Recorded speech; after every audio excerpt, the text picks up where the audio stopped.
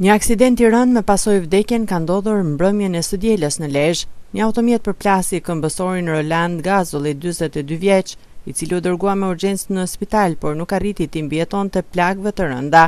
Ngjarja e rëndë ndodhi rreth orës njëzet në hyrje të qytetit të Lezhës, konkretisht në afërsi të kryqëzimit të Shëngjinit.